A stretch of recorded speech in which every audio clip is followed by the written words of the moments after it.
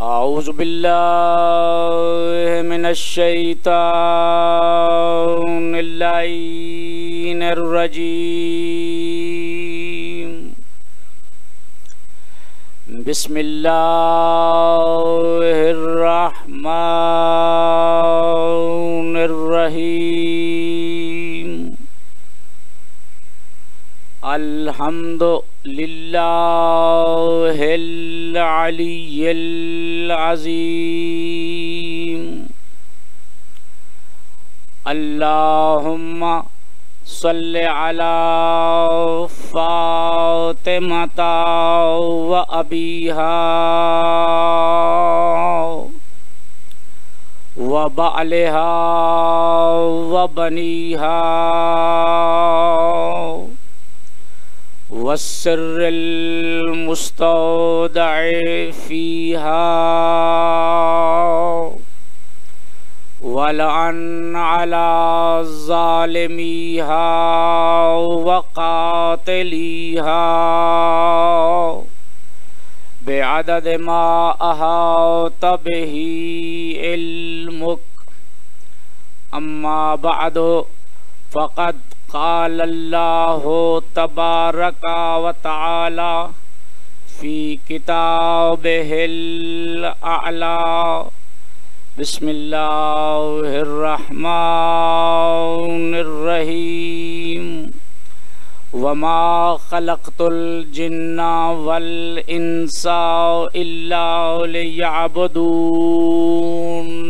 सलावात की आवाज़ बुलंद फरमाएं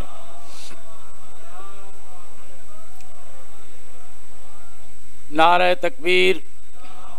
मिल के बावाज बुलंद जवाब दें, नारे तकबीर, नारा रिसालत नारा रिसालत, नारा हैदरी नारा हैदरी, हुसैनियत हुसैनियत, यजीदियत यजीदियत। मिल के आवाज़ बुलंद सलावात पढ़ें।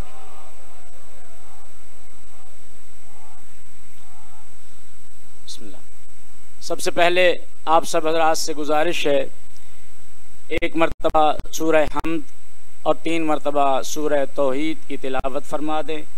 बरए इसाल सवाब व बुलंदी दरजात मरहूम मकफूर सैयद इशफाक अहमद शाह गर्देजी साहब और उनकी अहलिया मरहूमा मकफूरा के लिए। बसमिल्लाम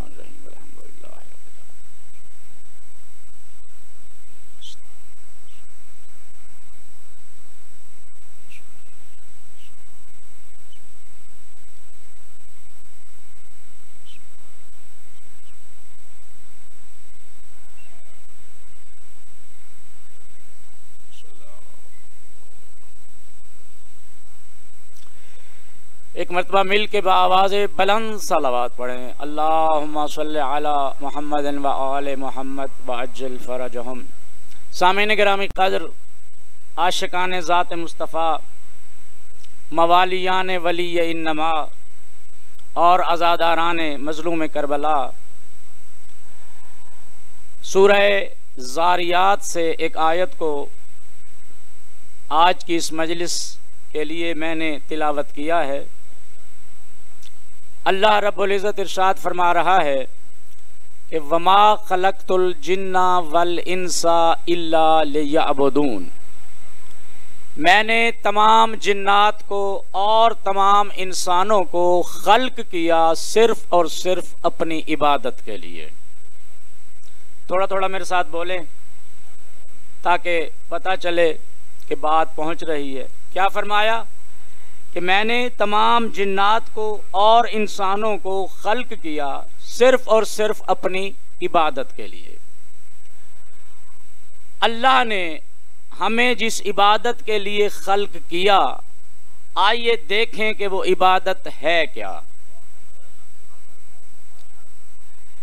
बचपन से उलमा वाइजीन खुतबा से यही सुनते चले आ रहे हैं कि नमाज़ पढ़ना इबादत है। बोलें रोज़ा रखना, इबादत है, हज करना, इबादत है, जिहाद करना, इबादत है, ये सारी इबादतें हैं। लेकिन आज मैं इन इबादतों के अलावा आपको कुछ इबादतें बताना चाहता हूँ। रिसालत में आप सल्लल्लाहु अलैहि वसल्लम फरमाते हैं कि अन नजरो इला अरबातिन इबादा, चार चीज़ों की जियारत करना इबादत है। कितनी चीज़ें? चार चीज़ें। फरमाया अन नजरो इलल काबत इबादत काबा की जियारत करना इबादत है। अन नजरो इलल मुसहफ इबादत कुरान की जियारत करना इबादत है। फिर फरमाया अन नजरो इलल वालदैन इबादत वालदैन की जियारत करना इबादत है। और आखिर में फरमाया अन नज़र वजह अली यबन अबी तालिबन इबादा। अली के चेहरे की जियारत करना भी इबादत है। याल याल अब ये कितनी बातें हैं? चार। इन इबादतों में हर एक इबादत की एक अलहदा अलहदा हैसियत है। काबे की जियारत करना इबादत। काबे की जियारत करने से सिर्फ़ काबे की जियारत का सवाब होगा। कुरान की जियारत का सवाब नहीं होगा। वालदेन की जियारत का सवाब नहीं होगा। अली के चेहरे की जियारत का सवाब नहीं होगा। बिल्कुल इसी तरह कुरान की जियारत करना इबादत है, लेकिन कुरान की जियारत करने से सिर्फ़ कुरान की जियारत का सवाब होगा। काबे की जियारत का सवाब नहीं होगा। वालदेन की जियारत का सवाब नहीं होगा। अली के चेहरे की जियारत का सवाब नहीं होगा। बिल्कुल इसी तरह वालदेन की जियारत करने से, वालदेन की जियारत का सवाब तो होगा। काबे की जियारत का सवाब नहीं होगा। कुरान की जियारत का सवाब नहीं होगा। अली के चेहरे की जियारत का सवाब नहीं होगा।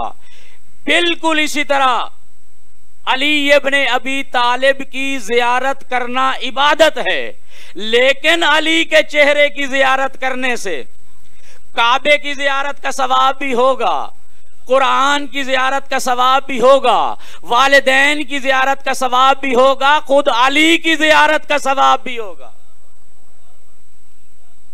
क्यों? इसलिए कि अली एक ही वक्त में, अकेला अली अपनी जात में काबा भी है कुरान भी है, वालिद भी है, अली भी है। कुरान भी है, काबा भी है, वालिद भी, अली भी। और मैं अपनी तरफ़ से नहीं कह रहा। बिरादरान अहल सुन्नत तक की किताबों में ये हकायक मौजूद हैं, ये अहादीस मौजूद हैं। रिसालत माब ने फरमाया, या अली अंत मसलुल काबा। ए अली, तेरी मिसाल काबे जैसी है। तवज्जो चाहता हूँ। अली तू काबे की मिसल है। कलामुल इमाम इमामुल कलाम। इमाम का कलाम, तमाम कलामों का इमाम होता है। रिसालत में आपके इस जुमले पर, इस हदीस पर गौर फरमाए। रिसालत में आप फरमाते हैं, या अली अंत मसलुल काबा। ए अली, तू मिसल काबा है, तू। काबा तेरी मिसल नहीं। अल्लाह अकबर। जब काबा अली की मिसल नहीं हो सकता, काबे की तरफ़ रुख करके नमाज़ पढ़ने वाला आम उम्मती अली की मिसल कैसे हो सकता है? अल्लाह अकबर।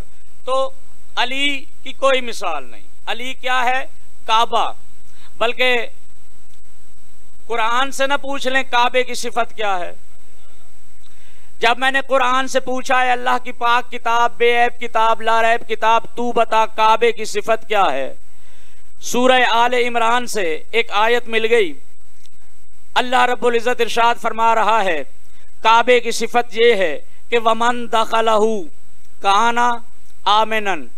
जो काबे में दाखिल हो जाए, वो अल्लाह की अमान में आ जाता है, तवज्जो मेरी तरफ़ रहे। वो अल्लाह की अमान में आ जाता है। किसकी सिफत है? काबे की। रसूल फरमाते हैं, या अली अंत बे मंजिलतिल काबा, या अली अंत मसलुल काबा अली तेरी मंजिलत ऐसे है जैसे काबे की।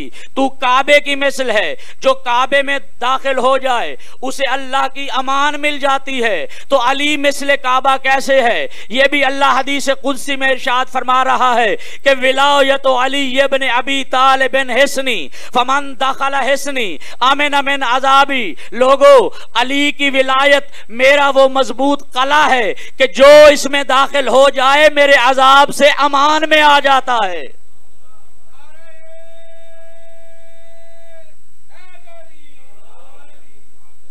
बड़ी नवाजिश, बहुत मेहरबानी। या अली, अंत मसल काबा। जिस तरह काबे में दाखिल होने से अमान मिल जाती है, इसी तरह विलायत अली। अच्छा ये है हदीस कुदसी। है हदीस कुदसी। अल्लाह का कलाम है। आओ अल्लाह से जरा सवाल करें, परवरदिगारा, तू भी तो वली है। तवज्जो, तू भी तो वली है। वली कितने हैं? तीन। इन्नमा वलीकुमुल्लाह व रसूलुहु वल्लज़ीना आमनुल्लज़ीना युकीमून अस्सलात व यूतून ज़कात व हुम राकिऊन। एक वली अल्लाह। एक उसका रसूल, एक हालत है, नमाज़ में, रकू की हालत में जक़ात देने वाला अली। तो अल्लाह सबसे बड़ा वली। आओ अल्लाह से सवाल करें, परवरदिगारा, तू सबसे बड़ा वली है। बल्कि मोहम्मद अली को वली बनाने वाला है। वली गर है, वली साज है। ए अल्लाह, तू अपनी विलायत को अपना मज़बूत कला करार दे। ये अपनी विलायत को छोड़कर, चलो, न सही। बड़ा मोहब्बत करता है अपने रसूल से, अपने अब्द से। महबूब है तेरा। चलो उसकी विलायत को, वो भी तो वली है, उसकी विलायत को अपना मज़बूत कला करार दे दे। ये भी नहीं किया। आखिर इन दो बड़ी विलायतों को छोड़ के अली की विलायत को अपना मज़बूत कला करार क्यों दिया? आवाज़ कुदरत आई इसलिए मेरे इल्म में है कि जो मेरे रसूल की विलायत का कायल होगा, हो सकता है वो हलाल ज़्यादा हो हो सकता है वो हराम ज़्यादा हो। मुझ मोहम्मद की, यानी मोहम्मद की विलायत का मानने वाला हो सकता है, हलाल ज़्यादा हो हो सकता है, हराम ज़्यादा हो। मैंने अली इब्ने अबी तालिब की विलायत को अपना मज़बूत कला इसलिए करार दिया। मेरे इल्म इलाही में है कि जो भी अली को मानने वाला होगा, वो यकीनन हलाल ज़्यादा होगा। मैंने इसलिए अल्लाह अकबर, अली की विलायत को अपना मज़बूत कला बनाया। अल्लाह अकबर। तो अली, काबा अली सिर्फ़ काबा नहीं, अली कुरान भी है। बोले, अली कुरान भी है। और यह भी रिसालत में आपने फरमाया, या अली अंतब मंजिलत कुरान अली तुम्हारी मंजिलत ऐसे है जैसे कुरान की। जब रिसालत में आपने ये फैसला दे दिया तो मानना पड़ेगा, जो सिफत कुरान की, वही सिफत अली की। जो मकाम कुरान का, वही मकाम बजाहिर बजाहिर। वरना बातिन में देखा जाए तो अली कुरान से अफजल है। हाँ कुरान सामित, अली नातिक। जितना नातिक और सामित में फ़र्क है, इतना तो कुरान में और अली में फ़र्क है ना। अल्लाह अकबर। अच्छा ये सामित जो है, सामित, तिलावत किया जाने वाला। हम इसकी भी आयात पढ़ते हैं, तफसीर फिर नातिक से लेते हैं। तफसीर नातिक कुरान से लेते हैं। क्यों? इसलिए कुरान जो अल्लाह ने नाजिल किया, वो है सामित, खामोश। और जो खामोश हो, जो ना बोलता हो, उसको हम कहते हैं कि ये गुंगा है। ऐसा है ना? हम कहते हैं ये गुंगा है। अल्लाह अकबर। भाई, हम अली इब्ने अबी तालिब या अहले बैत से कुरान की तफसीर लेते इसीलिए हैं। ये है कुरान गुंगा, बोलता नहीं। और गुंगे के इशारे हमेशा गुंगे के घर वाले समझते हैं। ऐसा ही है ना? हाँ इसीलिए हर कुरान को ले जाते हैं अहल बैत के दरवाजे पर कि अहले बैत, हमें बताइए कुरान कहना क्या चाहता है। अल्लाह अकबर। तो अली कुरान। बल्कि ये भी कुरान से पूछ लेते हैं कि कुरान की सिफत क्या है। जब मैंने कुरान से पूछा है, अल्लाह की पाक किताब बेऐब किताब ला रैब किताब, तू बता काबे की, कुरान की सिफत क्या है? जब कुरान से कुरान की सिफत को तलाश किया, सूरह बनी इसराइल से एक आयत मिल गई। अल्लाह फरमाता है कुरान फरमाया, जो कुछ हमने इस कुरान में नाजिल किया, बिस्मिल्लाह की बे से लेके वन्नास की सीन तक, ये मुकम्मल कुरान मोमिनीन के लिए शिफा भी है, रहमत भी है। ये मुकम्मल कुरान मोमिन के लिए शिफा भी है और रहमत भी है। कौन? सामित कुरान। जब सामित कुरान मोमिन को शिफा दे सकता है तो जो मिसले कुरान है और नाते कुरान है, अगर कोई अली वाला अली से शिफा मांगे, मुशरक क्यों? ये शिरक कैसा है? बिल्कुल भी नहीं है। जिस तरह कुरान शिफा देता है उसी तरह अली भी शिफा देते हैं। अली के घराने का हर फर्द शाफी है। अल्लाह अकबर। तो बल्कि आइए एक और आयत तिलावत कर दूँ। कुरान सामित इसकी सिफत क्या है? सामित कुरान की। सामित कुरान के लिए आयत है कि तिबियान कुल्ले शय। इसमें हर शय का बयान मौजूद है। इसमें हर शय का बयान मौजूद है, तिबियान है, वजाहत है। तवज्जो चाहता हूँ, ये किसकी सिफत है? कुरान की, कुरान सामित की। आओ रिसालत में आप फरमाते हैं, या अली अंतब मंजिलत कुरान। तुम्हारी मंजिलत ऐसे है जैसे कुरान की। जब कुरान में हर शय का ज़िक्र है तो अली के सीने में क्यों नहीं होगा? आओ अली अबन अभी तालिब के मुतालिक कुरान से पूछ लेते हैं कि तिबियान कुल्ले शय, ये तो कुरान के लिए है, सामित के लिए, नातिक के लिए क्या है? अल्लाह सूरह यासीन में इरशाद फरमा रहा है, वही लफ्ज, वकुल्ल शयन आहसनाफी इमाम मुबीन। हमने हर शय का इल्म गिन गिन के इमाम मुबीन के सीने में भर के रख दिया है। ये किसका इल्म है? इमाम मुबीन का। अच्छा इस आयत में भी मैंने तो नहीं कहा, वकुल्ला शैन। किसने कहा? अल्लाह ने। जहाँ अल्लाह कह दे कुल शय वहाँ कोई शय रहेगी बाकी बार? नहीं रहेगी। यानी जिस जिस चीज़ पर लफ्ज शय बोला जाता है, उस, उसका इल्म कुरान में भी है, इमाम मुबीन के सीने में भी है। अल्लाह अकबर। यही वजह है कि अभी आयत नाजिल हुई, इमाम मुबीन वाली। तो साहबा ने पूछा, या रसुल्ला वो इमाम मुबीन है कौन? अभी साहबा सवाल कर ही रहे थे, या अचानक मस्जिद के दरवाजे से इल्म का दरवाज़ा दाखिल हुआ? अल्लाह अकबर।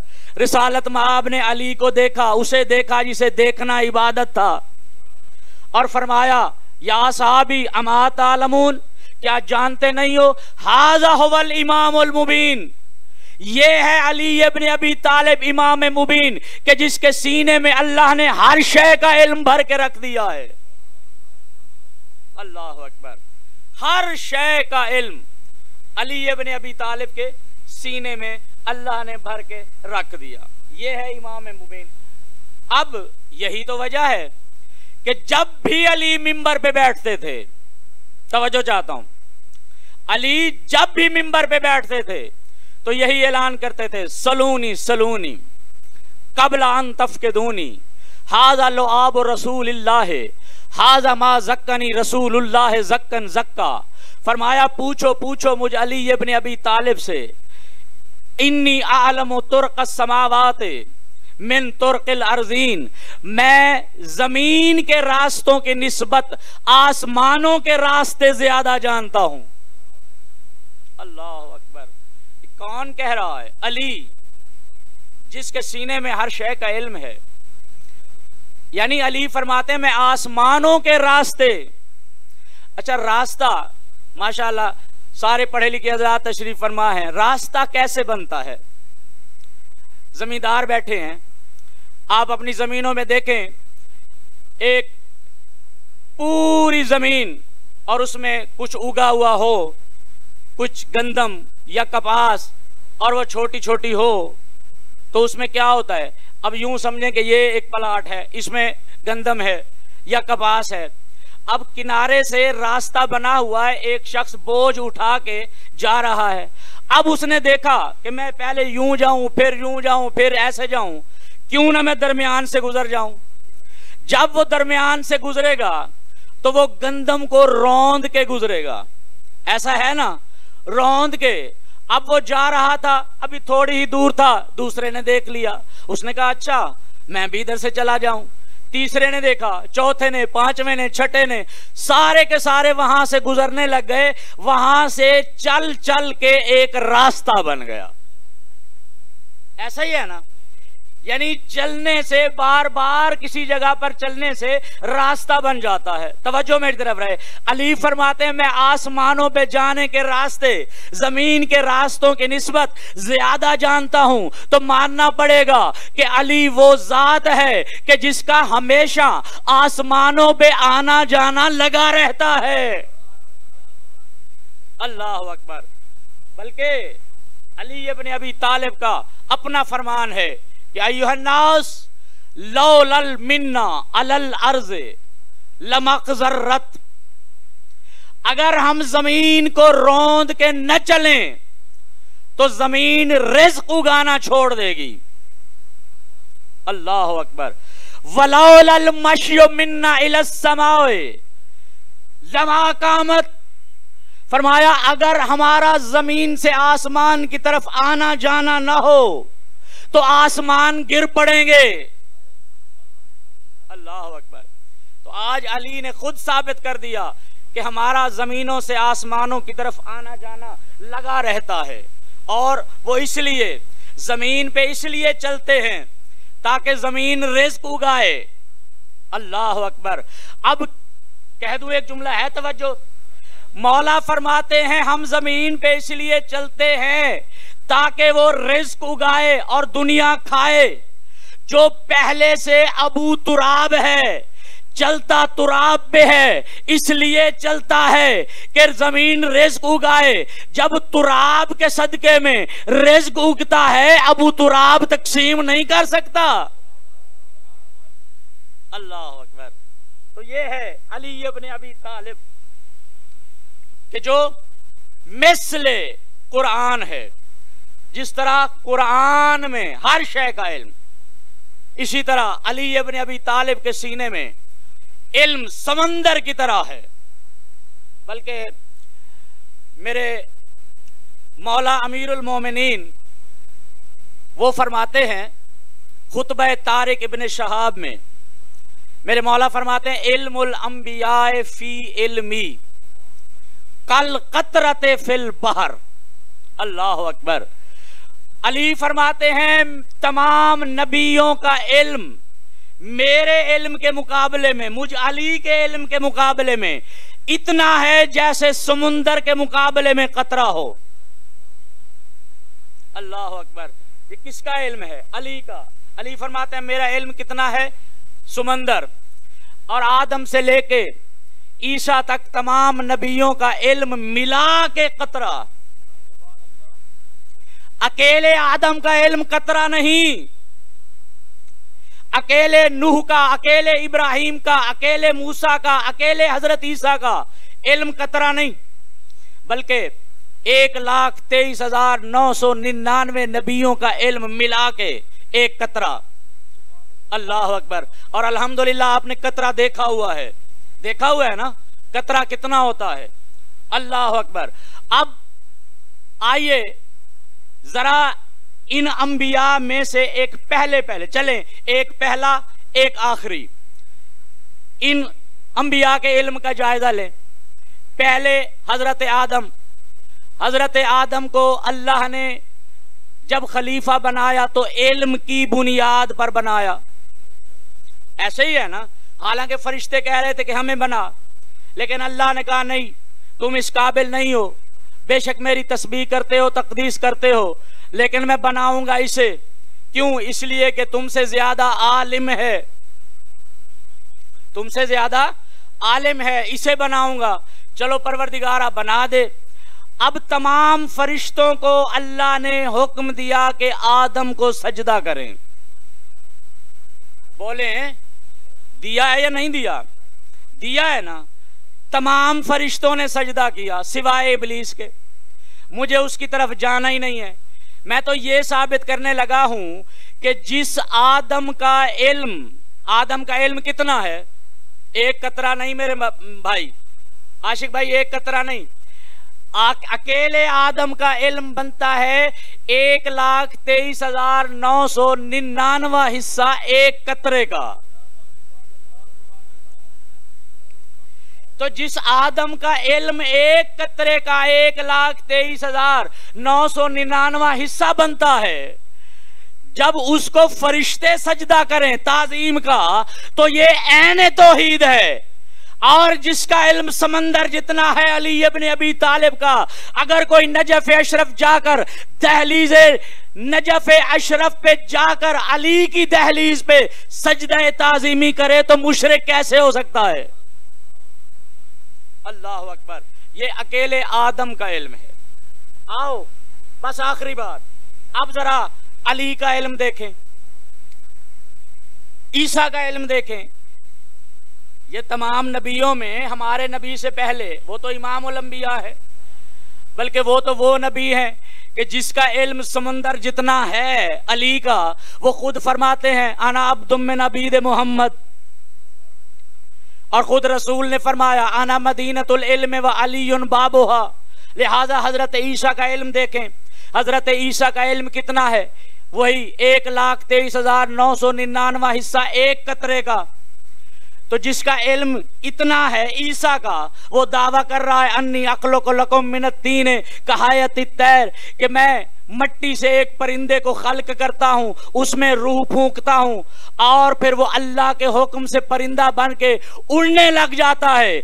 जिस ईसा का इल्म, एक कतरे का एक लाख तेईस हज़ार नौ सौ निन्यानवा हिस्सा बनता है, वो तो परिंदे खल्क करता है, जिसका इल्म समंदर जितना है, वो अली कितना बड़ा खालिक होगा? वो क्या खल्क कर सकता होगा? अल्लाह अकबर। तो ये है अली इब्न अबी तालिब का इल्म। ये अली के इल्म की एक झलक है। अली कुरान है। अली वालिद भी है। अली काबा, अली कुरान, अली वालिद। और जब मैंने कुरान से पूछा वालदेन के मुतालिक तो अल्लाह ने फरमाया कि वबिल वालदेन एहसान। आ वालदेन के साथ एहसान करो। अच्छा जितने भी ये आप पढ़ते हैं, हकूक वालदेन हैं, हकूक औलाद है, ये औलाद बैठी है, इनका हक क्या बनता है? कि इनको, इनकी, जो भी इनकी ज़रूरत की शय है, वो अपने वालदेन से मांगे। यानी बच्चे हमें दर्श दे रहे हैं कि वालदेन का हक है औलाद की ज़रूरतों को पूरा करना। औलाद का हक है मांगना। और आओ रिसालत माफ़ फरमाते हैं, या अली आना व अंत हाजिल उम्मा। मैं और अली दोनों इस उम्मत के बाप हैं। जब मोहम्मद और अली दोनों बमंजिल वालदेन के हैं, हम बमंजिल औलाद के हैं, हमारा हक बनता है कि हम इनसे अपनी ज़रूरत की हर शय मांगें और इनका हक बनता है कि वो हमें अता करें।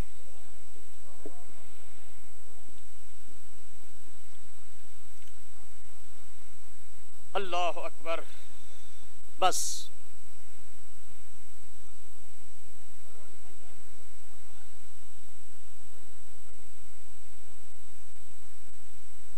तवज्जो है मेरी तरफ़ अली सलामकुम बिस्मिल्लाह अली का इल्म अली के इल्म का मुकाबला दुनिया करती है अली ने तो मिंबर पे सलूनी का दावा किया और सलूनी का दावा कब किया?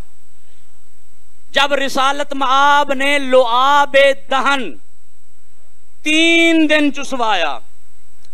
और अली दावा कर रहे हैं, सलूनी सलूनी, कबल तफकेदूनी, हाजा लो आब रसूल है हाजा मा जक्कनी रसूल जक्कन जक्का। फरमाया, ये जो मेरा इल्म है, ये मेरा इल्म नहीं, बल्कि रिसालत माब का लोआब दहन है। जिसे मैंने तीन दिन तक मुसलसल चूसा है। बिस्मिल्लाह। देखो मेरी तरफ़ यह है अली का इल्म। है क्या लुआब रसूल? आज तक अली के बाद किसी ने दावा सलूनी नहीं किया। नहीं किया। जब दुनिया लुआब रसूल का मुकाबला नहीं कर सकती तो पूरी उम्मत रसूल की मिसल कैसे? बंद कर लो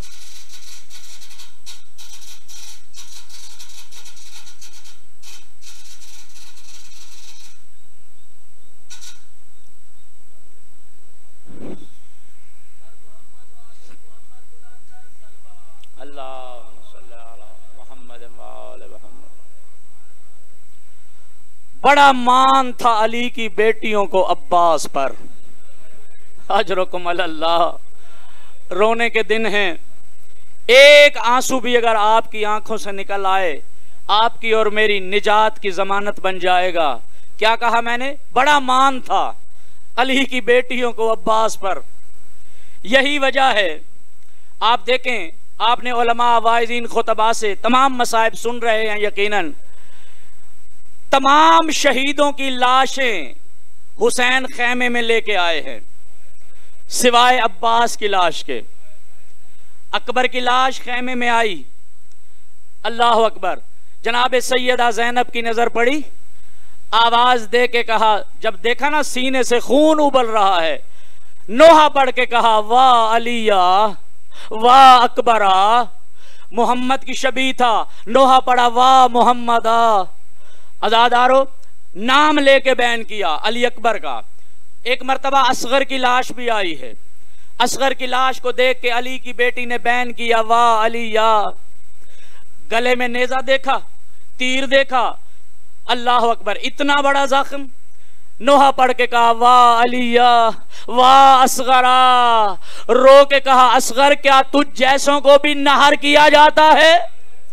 अजरकुम अल्लाह अजरकुम अल्लाह फिर एक मरतबा कासिम की लाश भी हुसैन खेमे में लेके आए। अजादारो टुकड़ों में बटी हुई थी कासिम की लाश। कोई टुकड़ा कहाँ से उठाया? कोई कहाँ से उठाया? कोई कहाँ से उठाया? एक गठड़ी की सूरत बनाई और उसमें लेके यूँ अपने कांधे पे अजादारो सवार करके उस गठड़ी को ले आए और आके खेमे में रखा। जैसे ही अली की बेटी आगे बढ़ी, कहा, हुसैन भैया, क्या मेरे कासिम की लाश नहीं लेके आए? क्या यतीम समझ के नहीं लेके आए? अजादारो कहा, बहना, कासिम की लाश आ गई है। कहा, कहाँ है? कहा, ये देखें, ये गठड़ी में है। अजादारो कासिम की लाश को गठड़ी में देखकर सैयदा जैनब ने कहा, हुसैन, मेरा तेरह साल का कासिम था। क्या तेरह साल के जवान की लाश इतनी होती है? अजरकुम अल्लाह अजरकुम अल्लाह आजादारो अली की बेटी ने बैन किया नाम लेके। वाह कासिम हाय मेरा कासिम, हाय मेरा दूल्हा बेटा। आजादारो, इमाम हसन याद आ गए। कहा, हा वाह हसना। हाय हसन मजलूम, हसन मसमूम। हाय मेरे भाई, तेरे बेटे का बड़ा अरमान है। आजादारो, लेकिन तमाम शहदा की लाशें खेमे में आई। अब्बास की लाश खेमे में नहीं आई। आज तक किसी ने नहीं पढ़ा, ना लिखा हुआ है। नहीं आई, क्यों नहीं आई? आखिर वजह क्या है? किताबें बताती हैं। इसकी बहुत सारी वजूहत हैं। एक वजह वो है जो आपके जहनों में है। कि जनाब अब्बास ने वसीयत की थी कि ए मौला मेरी लाश को खेमे में ना ले जाइएगा। कहा, क्यों ना ले जाऊँ? मौला इसलिए कि आपकी चार साल की सकीना बेटी ने मुझसे पानी मांगा था, मैंने लाने का वादा किया था, लेकिन मैं पानी नहीं ला सका। इसलिए मेरी लाश ना ले जाइएगा। मैं बहुत शर्मिंदा हूँ। एक तो वजह यह है, लेकिन आजादारों रोने वालों दूसरी वजह भी है, और वो क्या है? अल्लामा नजमुल हसन ने अपनी किताब में लिखा है कि बहुत सारी वजूहत हैं। एक वजह अब्बास की लाश खेमे में न लाने की, ये भी है कि अब्बास की लाश इस कदर खस्ता हो चुकी थी कि हुसैन जिधर से उठाने का इरादा करते थे, लाश बिखर बिखर जाती थी। लाने के काबिल नहीं थी, इसीलिए लाश को वहीं पे रखा। मशकीजा और अलम लेके आए। खेमे में जैसे अली की बेटी को इल्म हुआ, अली की बेटी करबला के मैदान में अपने खेमे में बैठी, अपने सर से चादर उतारी, करबला की खाक उठा के अपने सर पे डाली, फिर दोनों हाथ सर पे रखे और नोहा पड़ा, नाम नहीं लिया बास का, बल्कि कहा वाह हिजाबा हाय मेरा पर्दा, हाय मेरी चादर रुख फिर गया जन्नतुल बकी की तरफ़। आवाज़ दे के कहा, अम्मा, अब मुझे यकीन हो गया है कि अब मेरी चादर नहीं बचेगी। मेरा सर नंगा हो जाएगा। नंगे सर खुतबे पढ़ने पड़ेंगे।